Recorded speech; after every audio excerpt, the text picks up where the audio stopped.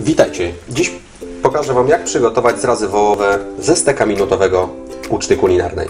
Sekretem produktu uczta kulinarna jest wołowina dojrzała. To dojrzewanie nadaje subtelnej kruchości mięsa. Przygotowanie doskonałych zrazów nie wymaga dużych umiejętności kulinarnych. Może je przygotować każdy i to w stosunkowo niedługim czasie.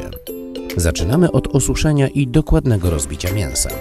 Jeżeli wołowina zostanie dobrze rozbita na cienkie plastry, to nie musimy zrazów wiązać czy spinać szpilkami, bowiem ani w trakcie smażenia, ani duszenia nie rozpadną się one.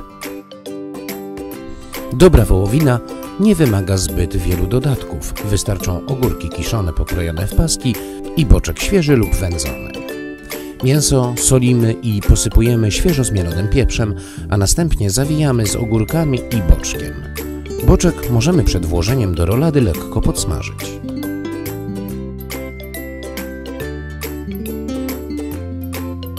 Do duszenia zrazów dodamy pokrojoną w pół plasterki cebulę i pocięte na sześć części pieczarki. Wcześniej przygotowane zrazy wołowe obtaczam w niewielkiej ilości mąki pszennej. Mąka scali zrazy i spowoduje, że powstały sos będzie zagęszczony. Zrazy podsmażymy na rozgrzanym oleju lub maśle klarowanym tak długo, aż nabiorą ciemno-żółtej barwy. Zazwyczaj trwa to około 3 do 4 minut z każdej strony.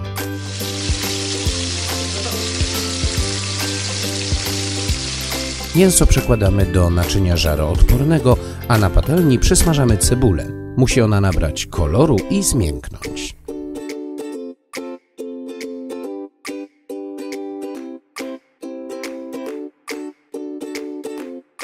Cebulę przekładamy do naczynia ze zrazami. Pieczarki wrzucamy na patelnię i także podsmażamy.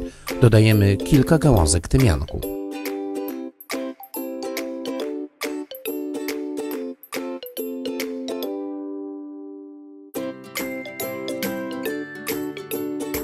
Na koniec zalewamy bulionem wołowym.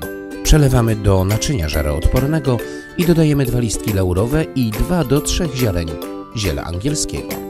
Przykrywam pokrywką. Następnie wkładam na około 2 godziny do piekarnika rozgrzanego do temperatury 180 stopni.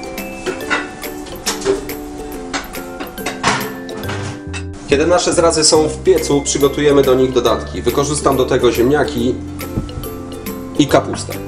Będzie to pire o niekonwencjonalnym smaku z kapustą włoską i zieloną cebulką dymką. Ziemniaki gotujemy do miękkości. W międzyczasie szatkujemy kapustę włoską, którą następnie blanszujemy przez około 2 do 3 minut. Możemy jeszcze pokroić szczypior, który dodamy do pire. Miękką, obgotowaną i odciśniętą kapustę podsmażamy na maśle, pod koniec dodajemy poszatkowany szczypior. Do kapusty ze szczypiorkiem dodajemy ugniecione z odrobiną ciepłego tłuszczu lub mleka ziemniaki i mieszając je łączymy składniki.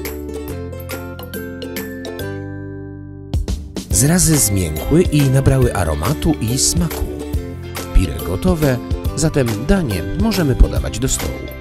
Najpierw wykładamy pire, potem przeciętą na pół rolatkę, całość dekorujemy cebulą, pieczarkami i sosem.